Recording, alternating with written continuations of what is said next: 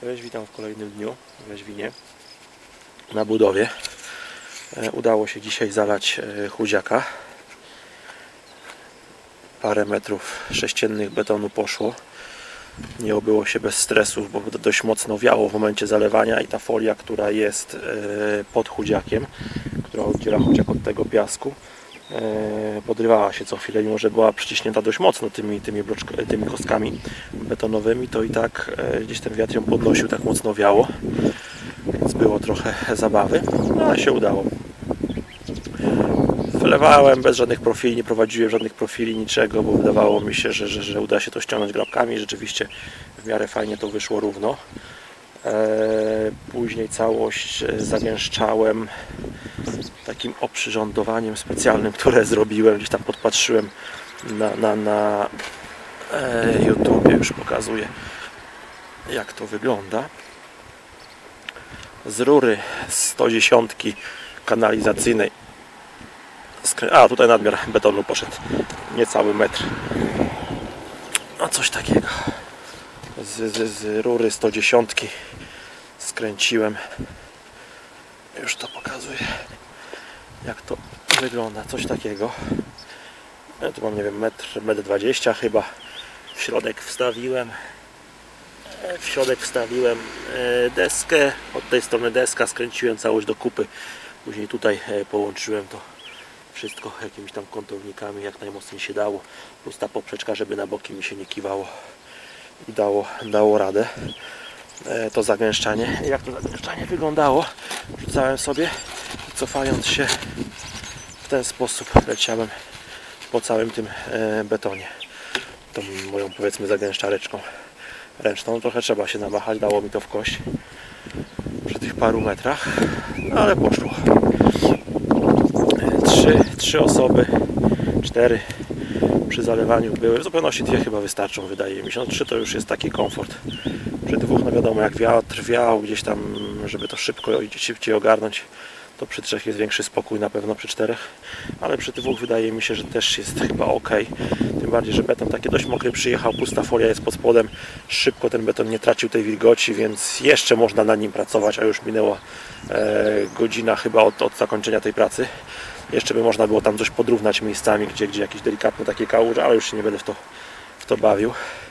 No i kolejna rzecz, jaką zrobiłem, bo miałem zostawić początkowo tą e, po tej rurze to zagęszczanie takie, ale trochę nierówno było.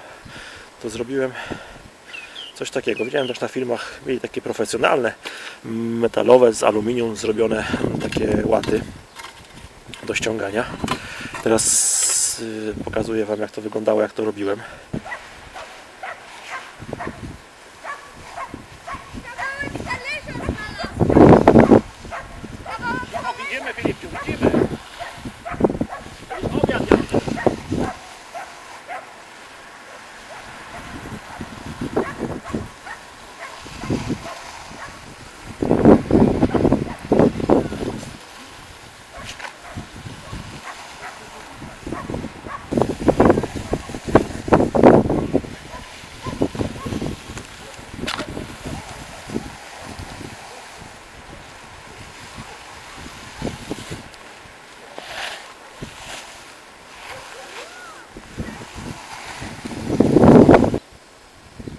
I, no i tak to wygląda. Dość fajna, prosta rzecz w obsłudze. I, i, i, i, i lekka jest ze względu na te moje rurki e, aluminiowe. Tutaj. Plus jedna chyba stelaż z jakiegoś starego namiotu. Oj, Reksiu, uciekaj stąd, bo jak ty mi wejdziesz zaraz to, to już nie uciekaj, uciekaj, uciekaj, uciekaj. Jak ty mi to wejdziesz zaraz w ten beton mój, to będzie tragedia. Jak to wygląda? Dół zrobiony z panela, zwykły panel e, podłogowy. Zaokrągliłem sobie te różki tylko szlifierką. Przykręciłem taką deskę, żeby był stabilniejszy, mocniejszy. No i do tego przykręciłem, spłaszczyłem tą rurkę e, dość mocno, przykręciłem ją na wkręty, złapałem plus jakimiś tymi od sufitów podwieszanych mocowaniami e, połapałem jeszcze. Naprawdę zdaję egzamin, to ma nie wiem z metr 30, metr 50 może. Taka, taka e, do wyrównywania, do głaskania już. E, o i deszczyk jeszcze dobrze, niech pada to akurat wskazane przy betoniku chyba. No i sprzęt chyba trzeba pochować. No i tak to, tak to wygląda. Naprawdę fajna sprawa z tą e, packą do, do wyrównywania do wyrównywania tego. Dobra, pochowam sprzęty, bo to żeby nie mokło. No i tak to, tak to wygląda. Poszło dość, dość fajnie, szybko. Jeszcze na koniec tylko zatarłem e, dookoła przy, przy, przy narożnikach, żeby ta, e, ten beton gdzieś tu mi nie wypływał na ten, na, na, na, na, na fundament. E, Tam w momencie jak już zagęszczałem tą rurą, to miejscami e, w narożnikach było trochę za dużo betonu, to musieliśmy odrzucić, tak jak takie gdzieś tam delikatne kubki porobione. Trochę trzeba było ściągnąć, ale nie dużo. Na szczęście to doświadczenie przy robieniu trawników wyszło i widziałem mniej więcej, jak już lałem ten beton, to widziałem mniej więcej ile tego betonu trzeba, ile, ile gdzie, gdzie wlać więcej, gdzie mniej, żeby to w miarę równo, równo wyszło. No dobra, no i tyle w tym macie. Jeszcze za chwilkę poprzyciskam tą folię, żeby mi nią nie wiało. Poczyszczę może troszeczkę te fundamenty, żeby to nie przyschło mi. E, Jak już zacznie to wszystko, o takie miejsca właśnie, żeby to mi tu nie zostało, bo to później będzie się ciężko to e, zdrapać jak wyschnie.